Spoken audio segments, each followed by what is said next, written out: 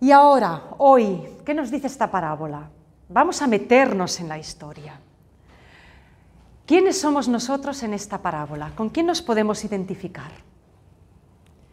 Vamos a empezar por el Padre.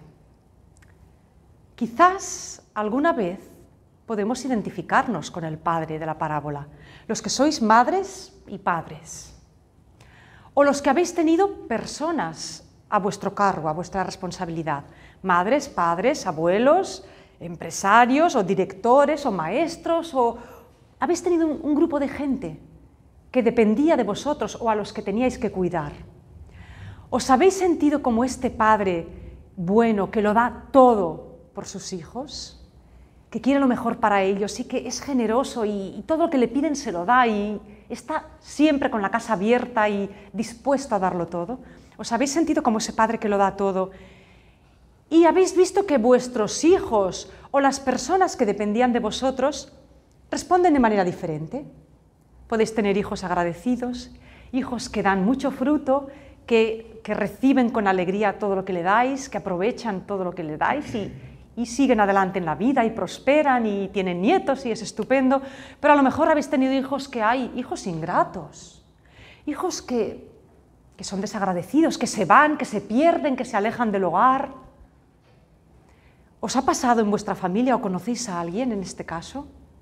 ¿O habéis dado mucho por otras personas, directores, maestros, profesores, empresarios? ¿Habéis, ¿Lo habéis dado todo por vuestros trabajadores, por vuestro equipo?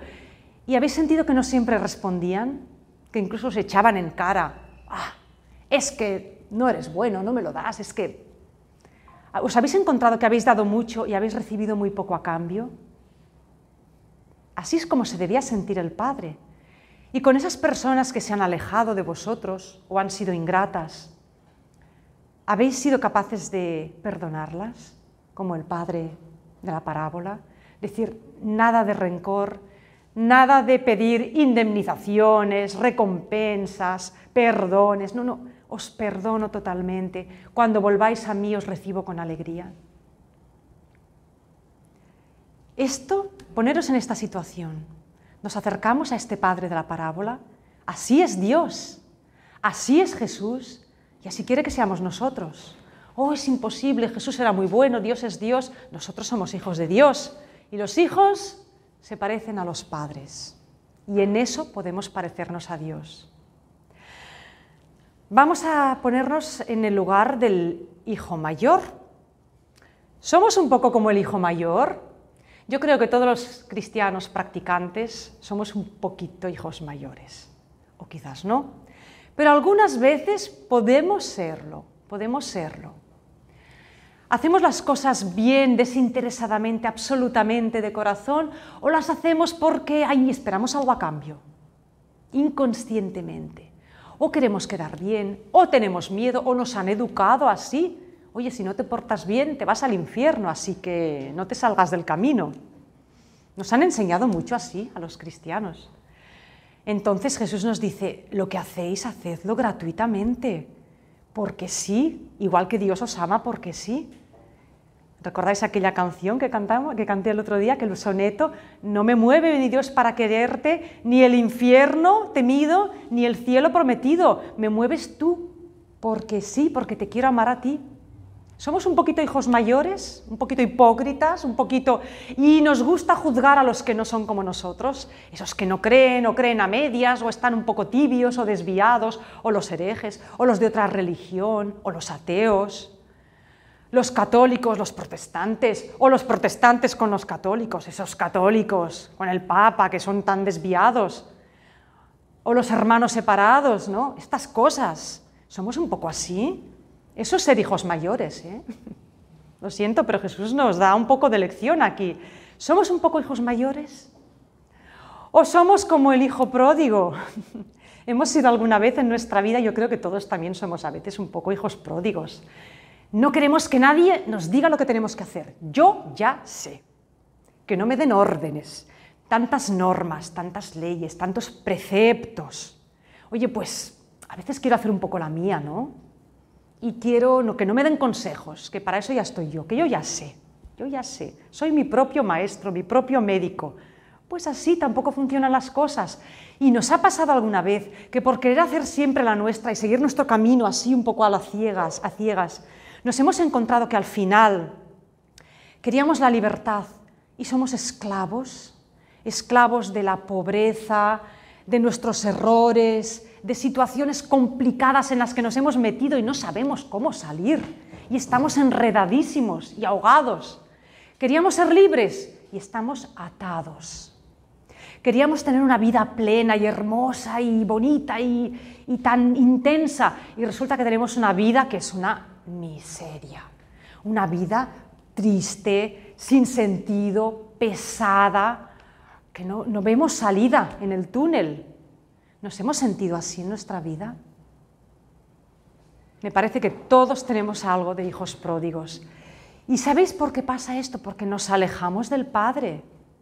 Nos alejamos del Padre, de la casa del Padre.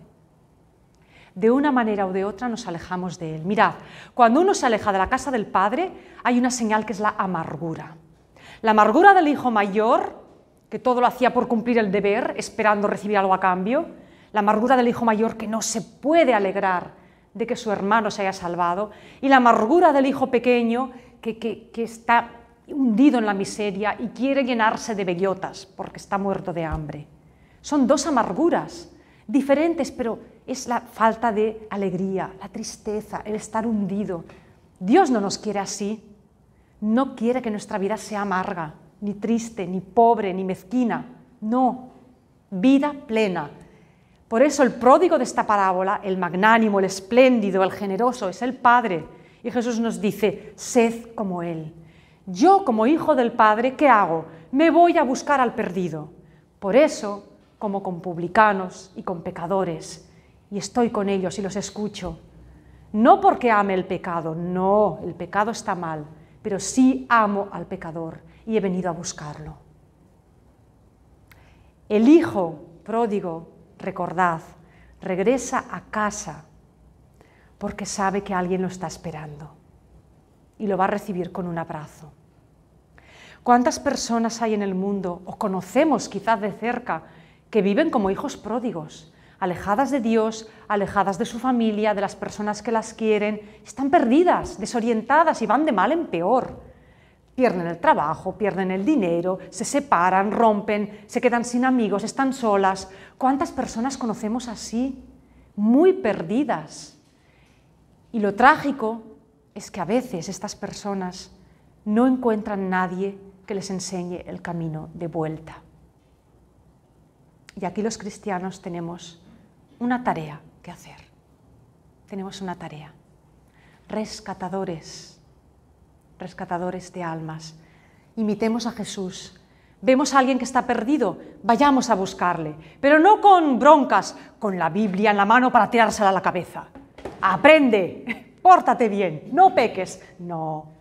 Sentándonos a su lado, comiendo con ellos, escuchándoles, como Jesús hacía con los pecadores, con ternura, con amor, echándonos al cuello de ellos, dándoles ese cariño, ese afecto, esa amistad que necesitan. Así sí que se puede convertir a los pecadores. Y un día te preguntarán, ¿y por qué das amor? ¿Por qué das alegría? ¿Por qué me ayudas? ¿Por qué? Porque yo también he sido amado y escuchado y atendido. Y lo comparto. Gratis he recibido, gratis doy.